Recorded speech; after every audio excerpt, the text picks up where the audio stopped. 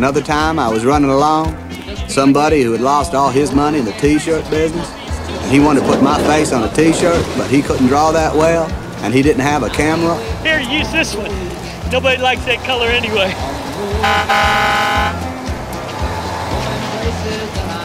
Have a nice day. Well, some years later, I found out that that man did come up with an idea for a t-shirt. He made a lot of money off of it.